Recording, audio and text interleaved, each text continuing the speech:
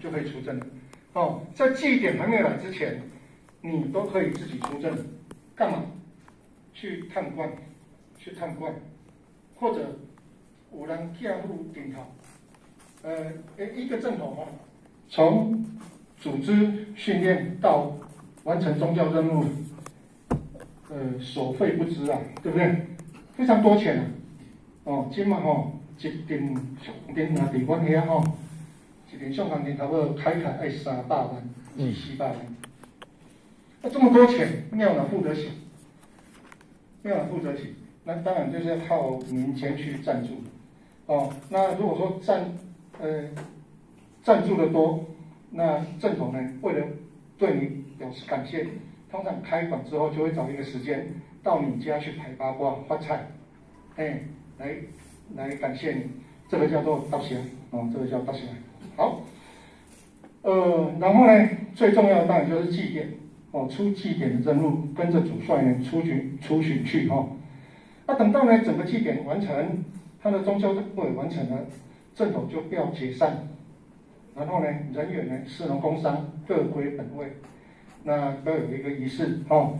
我们当初呢有请正头守护神来入馆。那正统要解散呢，就要怎样？正统守护神呢，再送回去，那再送回去，哎，送入馆送回去是什么意思？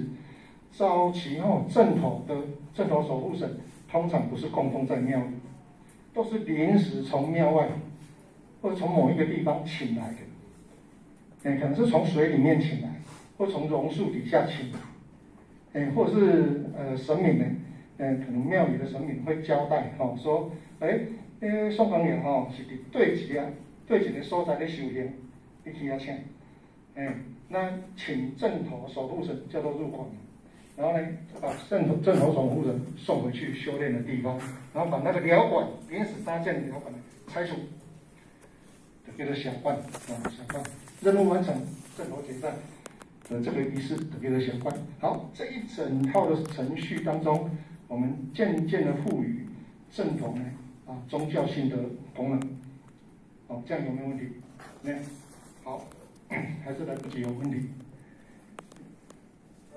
我们看一下哈，好，这个是暗冠的时阵，哦，这是五正的暗冠，你这文正的暗冠，哦，文正的暗冠，这个时候都还没有正统，还没有正统，那人员呢就可以先进行记忆的训练。